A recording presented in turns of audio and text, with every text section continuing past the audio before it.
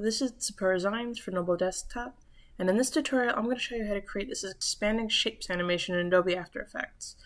Uh, we're going to be using a series of shape layers with uh, just a few keyframes to make this cool tunnel-like expanding effect. So this is what it looks like when uh, we're going to be done with the project. Um, you can see the effect right there. And um, this is a great uh, transition effect. It's uh, very good for introducing like other elements into your piece, you know, like objects and uh, shape layers, and you know, like um, and going from like frame to frame, scene to scene. Um, in this case, we're going to be using text, but honestly, anything goes with this. Um, it's also like super like quick to make, and it's like really easily reusable.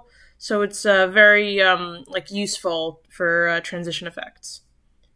We're uh, really just going to be using uh, shape layers available within the program, and at the end, we're going to be switching on like the visibility um, of uh, a couple of these uh, pre-made layers. So, but we're not going to be using anything external. So, uh, and you could find this project file in like the video description below.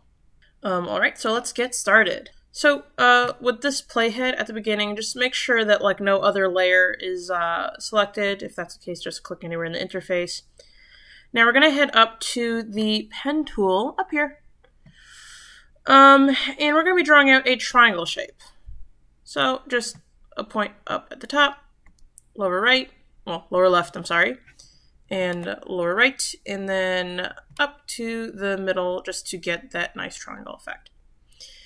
Um, and now we're just going to be changing um, a couple of settings on this triangle to get a particular look. So the first thing we're going to be doing is head over to like this box next to stroke. Um, this refers to the outline, essentially, and we're going to get this thing to be white. And then we're going to get like we're we want the first triangle we have to like be empty. Sorry about that. So we're gonna click on uh, the word fill and then click like this little strike through box, and that's just that's gonna get rid of the fill. So we have like this this triangle outline. Um, and then the first one we're gonna want like a thickness of eight. So you see that I like clicked the number next to stroke over here. I'm gonna put an eight and get that in there. All right, so that's my first triangle. Um, and I'm just gonna make sure that I'm using um, like the selection tool over here instead of the pen tool, but so I just don't end up uh, drawing anything else by accident. And also, uh, with this new shape layer selected, I'm gonna hit, uh, if you're using a Mac, it's return, um, enter on a PC to rename it. And I'm just gonna name it triangle one, just so I keep track of all my layers. Um, and Again, my play is at the beginning because uh, we're going to start keyframing this thing. We're going to start uh, putting in some animation. And then let's hit S on the keyboard to open up scale. You know how big this thing is going to be.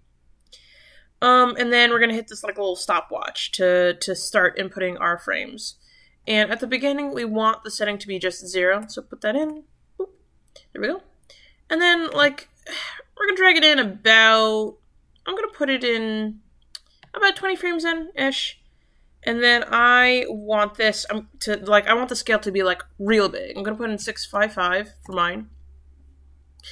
And the reason being, like if you look at the the playback as I scrub through the timeline, I don't want it to just like go back to its original size. I want this thing to like whoosh, you know, like get bigger than the frame, to get bigger than the composition uh, window it's in, so it looks like it's coming towards us and we're like passing into into the triangle.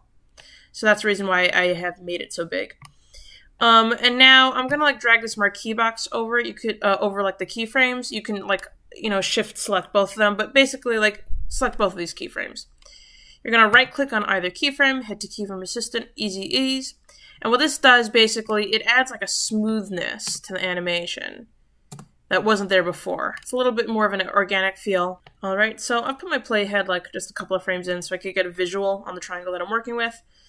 Um, and depending on your machine, you're gonna hit either Command D or Control D to duplicate the layer. And it's all like it all all yeah, sorry, it automatically renames uh, the layer to Triangle Two, so we don't have to rename it. And let's do that again because we're gonna get three triangles. So here we go. And let's hit all, let's get all our triangle layers selected. We're gonna hit U on the keyboard to display all the animated keyframes. And obviously being duplicates, they all look the same. So now I've got my playhead at the origin for a reason, because uh, we're, we're gonna wanna overlay and like overlap each of these uh, expanding animations with, with each other. So I want them to be about three frames uh, difference from each other. Um, you'll see what I mean as we start animating these. Um, and let's see, so now that I've got like a visual on which keyframes are visible because I hit U, I can now shift each one over a little bit.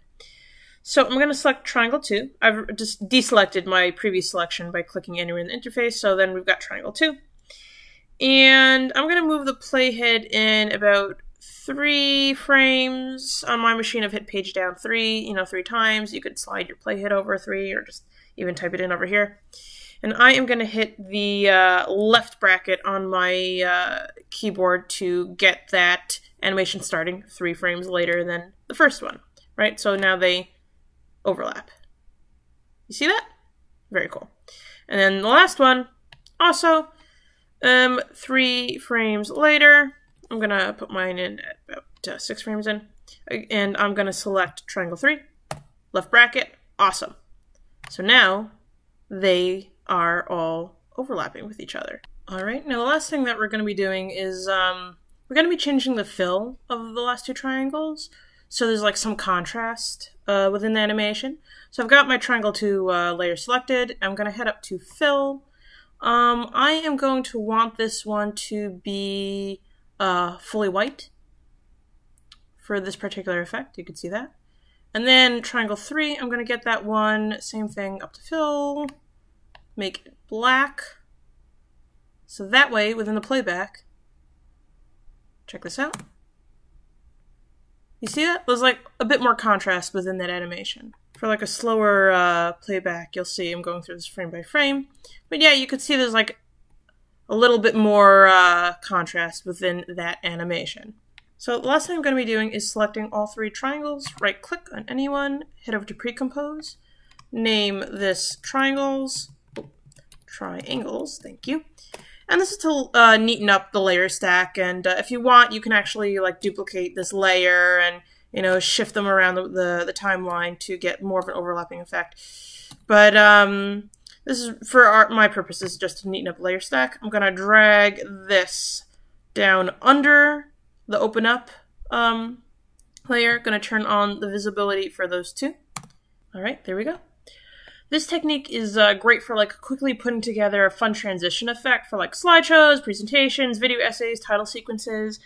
Um, and like you don't have to stick to triangles, you know, like try different shapes. You can do like a, a comic book uh, speech balloon shape, you know, like one of those like POW shapes. Um, even an illustration could uh, fit into this technique. And like knowing how to like repeat and shift over on the timeline, like repeating layers, is also like super useful for like speeding up animation processes. So um, yeah, that's all for this tutorial. I hope you've enjoyed learning how to make this expanding shapes effect in Adobe After Effects. And this has been Superzines for Noble Desktop.